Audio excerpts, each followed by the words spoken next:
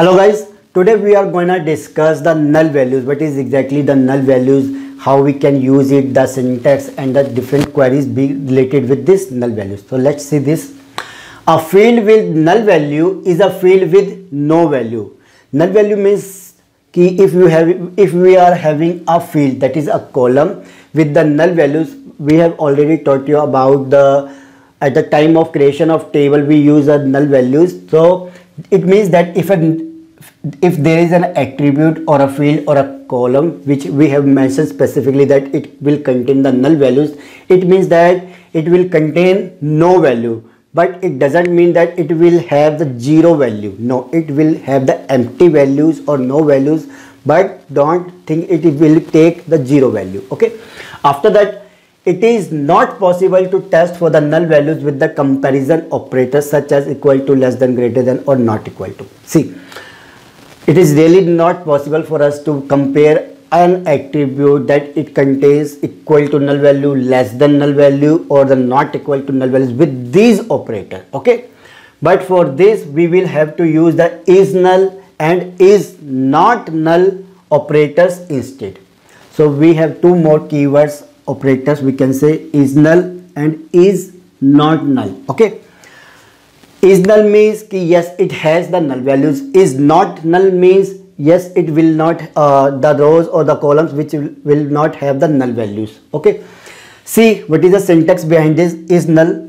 Select star from table name where column name is null. See what is exactly mean? It will it will select all the columns from this table then where column name is null. If this column have null values is null values so it will show that only null values okay? And in the next scenario is not null syntax. Select star from table name where column name is not null. So what it will give? It will give all the columns with the values where column name is not null. If this column name have not null values all those not null values it will skip out or it will give you other values okay? It will not include is not null values. Means where you have the null values it will skip it then show other values which are the remaining part of that column. See let's take an example. Select star from employees where country is null. See it will select all the attributes from employees table but there is a condition where country is null country is null. So all those value where country's value is null okay it will include that. So see usa no it's not a null. Not null not null. Yeah it is a null. It is a null. So it will give you the output. 004 nil null. 006 fank null. Because it says that only include those value from the country which has the null values okay after that we have the query that select star from employees where country is not null. Now it is the opposite of that.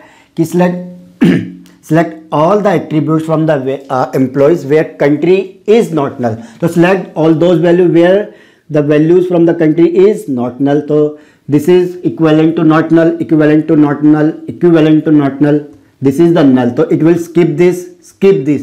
It will include all 0 01 02 03 and then 005 okay these all four rows. Okay guys so this is all about the null values. In the next session we will discuss how to use update keyword in the sql queries. If you are liking my videos so please share and like these videos. And please follow the playlist the link under uh, so please follow the playlist and its link is under the description. Okay thank you